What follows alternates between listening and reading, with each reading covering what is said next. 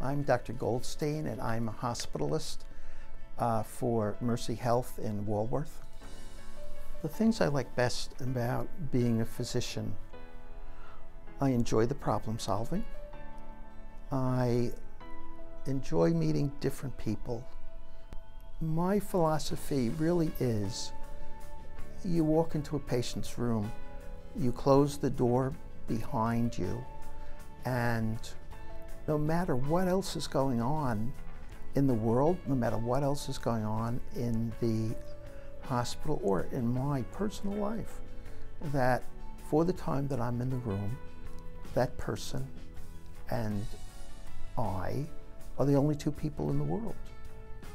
And I hope through my actions I uh, reflect that.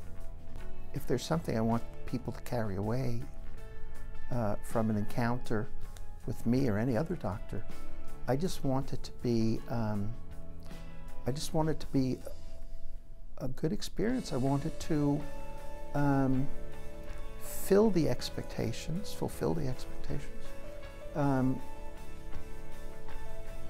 not because I'm, I'm interested in a customer service survey, but because I feel like I'm part of a tradition that goes back for thousands of years.